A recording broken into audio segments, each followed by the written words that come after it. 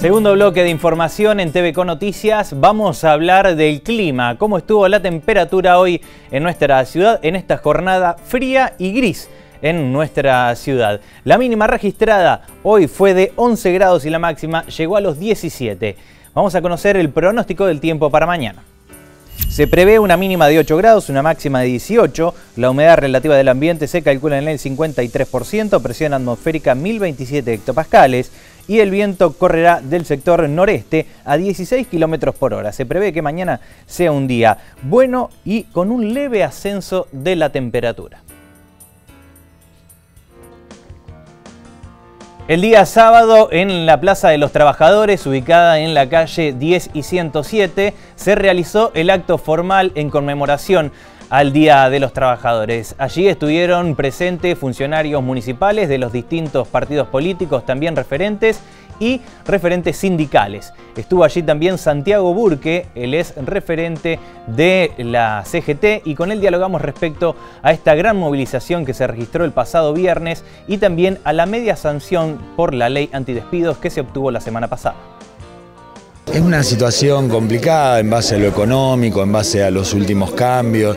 Eh, tenemos distintas realidades según los sectores, han ido variando mucho a diferencia del modelo que venía trayendo el, laburante. Y en esto en realidad encuentra a lo mejor a sus representantes juntándose como lo hemos visto, eh, cosa que no pasaba desde hace mucho tiempo y lamentablemente eh, o sea, no es una buena señal porque lo junta el, compartir algo, a lo mejor desgracia o el compartir eh, problemas como pueden ser despidos, como puede ser la precarización hoy más que nunca laboral.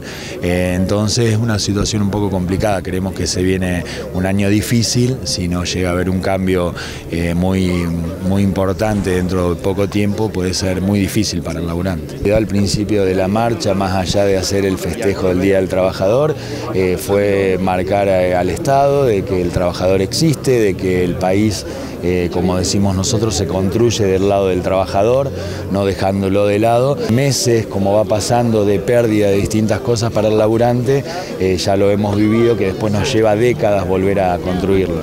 Entonces necesitamos que antes de que siga pasando el tiempo, eh, los gobernantes puedan ver esta situación y no se olviden puntualmente del trabajador. La sanción nos viene bien, nos ayuda, eh, tenemos un compañero que es Daniel Lovera, que está en esa representación, está trabajando en eso también. Eh, nos lamentamos por el hecho de tener que llegar a este tipo de situaciones para defender una fuente laboral. Consideramos de que no es el medio, tendría que ser lo más natural que uno pueda trascender en su trabajo y pueda mantener y sepa que, su trabajo va a ser el, desarrollo de toda la vida y de toda la familia. Pero eh, fuera de eso, eh, entendemos de que tiene que ser también una alerta para, en este caso, el presidente, eh, de no, no sobreentender de que queremos defender la fuente del laburante por encima de la economía del país.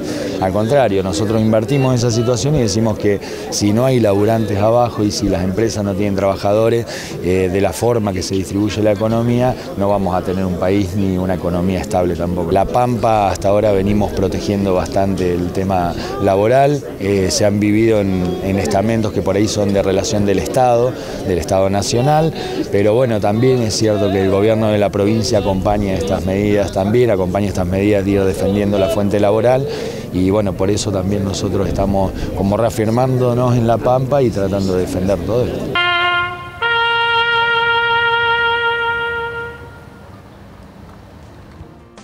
Otra de las dirigentes que estuvo presente fue Liliana López, ella es referente de la CTA y analizó la situación de los trabajadores en la actualidad en este nuevo contexto político y económico. Aquí estamos acompañando al festejo en nuestra ciudad, en realidad un poco preocupados, hoy nos levantamos por la mañana, la primera lectura de los diarios, el 10% de aumento de la nafta, y como central de trabajadores muy preocupados, fue la una de las centrales que desde un comienzo viene denunciando estas políticas neoliberales que se están llevando a cabo en nuestro país, porque son políticas que afectan, ¿no es cierto?, a todos los trabajadores y trabajadoras, a todos los asalariados de este país, así que preocupado, un día preocupado. ¿Qué lectura hacen de lo que fue eh, el acto ¿no? multitudinario del viernes? Y yo creo que fue un acto donde las cinco centrales este, le dimos un mensaje claro al gobierno nacional. Este, vuelvo a repetir, desde nuestra central estamos muy atentos con la ley de este, antidespido que se está llevando a cabo en el Congreso. Esperemos que el señor este, presidente no la vete, si no yo creo que las cinco centrales nuevamente vamos a estar unidas con un gran paro nacional.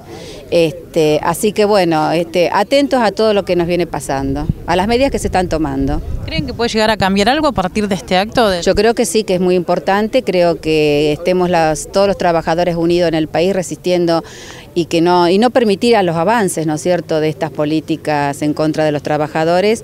Creo que es un mensaje muy claro que el presidente nos debe escuchar y queremos estar sentados en todas las mesas este, que sean necesarias para tomar este, y resolver todo aquello que tenga que ver con los trabajadores de este país. ¿Qué análisis o qué lectura pueden hacer de lo que es el trabajo aquí en nuestra ciudad, ¿no? de lo que es la condición del trabajador hoy por hoy? Estamos muy preocupados, como dije al comienzo, no solamente de nuestra ciudad, de toda la provincia de La Pampa, eh, preocupados porque no vemos eh, con claridad que se salga, en primer lugar, a decir ya los despidos que hubo tanto en lo estatal como en lo privado. Son muchos los despidos que hay este, en nuestra provincia.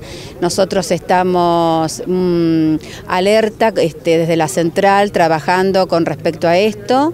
Eh, necesitamos que el gobierno, tanto local como provincial, este, refleje rápidamente alguna propuesta, algún proyecto, alguna salida, contención a todos los trabajadores y trabajadoras de esta provincia, es lo que estamos pidiendo.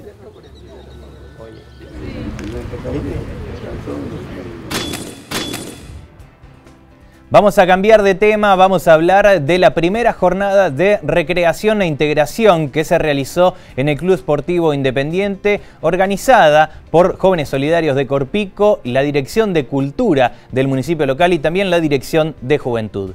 TVC Noticias estuvo allí, dialogó con los organizadores y este fue el balance que realizaron de esta exitosa jornada. Pudimos transmitir la, la vivencia que nosotros habíamos tenido, las ganas que teníamos de reunir a toda la juventud piquense, a la adolescencia, a los niños, a las niñas, a la familia y poder compartir una tarde diferente.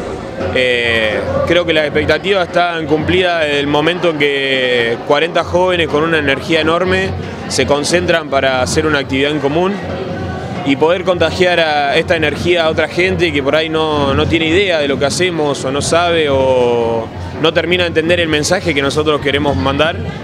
Eh, fue una buena oportunidad para empezar a, pensar al futuro. Esto nos va a abrir muchas puertas como jóvenes solidarios, eh, como modelo cooperativo.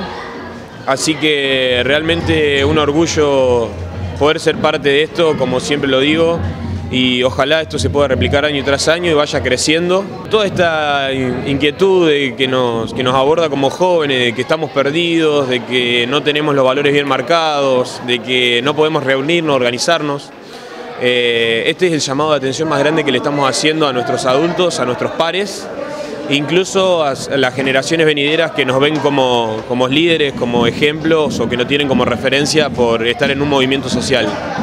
Eh, creo que el mensaje es ese, fortalecer los vínculos, fortalecer los valores, unir a la familia, integrar desde el juego, desde los dispositivos lúdicos, y, bueno, creo que el objetivo, como ya te, dije hoy, está cumplido. Somos capaces de un montón de cosas, nos tienen que tener en cuenta que no somos el futuro, somos el presente que la energía del joven se debe complementar, perfectamente con la, con la experiencia y con la sabiduría del adulto. Uno de los objetivos secundarios, el vínculo entre las instituciones.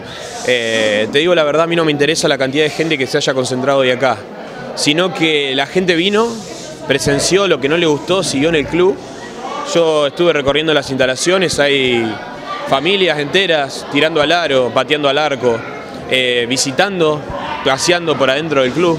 Y creo que es un espacio que debemos utilizar. El club siempre fue un lugar de, aglutinamiento de gente, de la compañía familiar. Entonces, volver a, referenciar al club como, como punto de encuentro y no como está fomentado hoy la esquina, eh, las plazas para hacer maldades. Eh, volver a, unir a las instituciones para, para, pensar en el bien de todos, es lo que todos promovemos, creo, que desde la cooperativa, desde el municipio.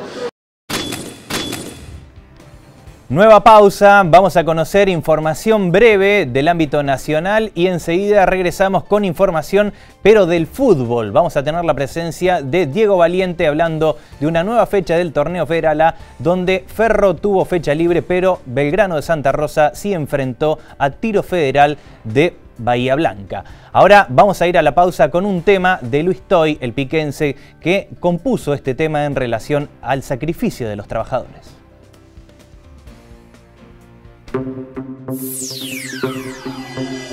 Baja el petróleo, suben las naftas. El gobierno determinó otro aumento del 10% en los combustibles, que ya acumulan el 31% desde enero. El ministro de Energía y Minería Juan José Aranguren justificó que la medida es para proteger empleos y reconoció que la nafta argentina es de las más caras del mundo. Fuertes críticas de expendedores de combustibles y asociaciones de consumidores, quienes advierten que habrá traslado de suba a la canasta básica. Madre e hijo imputados. Política, negocios inmobiliarios. La justicia federal comenzó a investigar a Cristina y Máximo Kirchner por los negocios inmobiliarios de la sociedad Los Sauces. El fiscal Carlos Rívolo imputó a la expresidenta y a su hijo por los presuntos delitos de enriquecimiento ilícito y falsificación de documentos públicos, a raíz de una denuncia presentada por Margarita Stolbizer. Pedido de salida. La diputada nacional de la coalición cívica Cambiemos, Elisa Carrió, solicitó hoy a la jueza en lo contencioso administrativo federal, Claudia Rodríguez Vidal, que separe a Ricardo Echegaray de la presidencia de la Auditoría General de la Nación, ante el agravamiento de su situación judicial.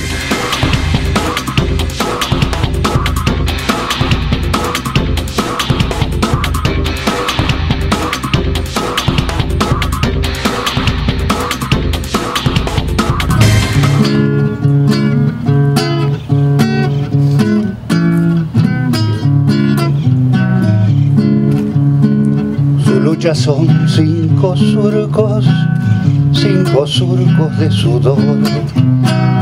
El ruido del chalerío en mayo sorprende al sol.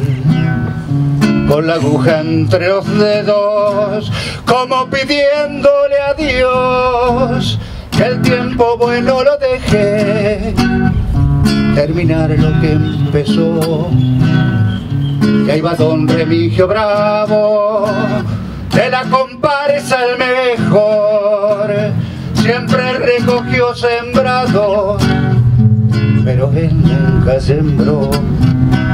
Yo lo observé varias veces con sus pies en un fuentón, sacar rosetas y espinas con la aguja que afiló, pantorrillas coloradas la maleta dejó y, y una marca en su mirada que el tiempo nunca borró.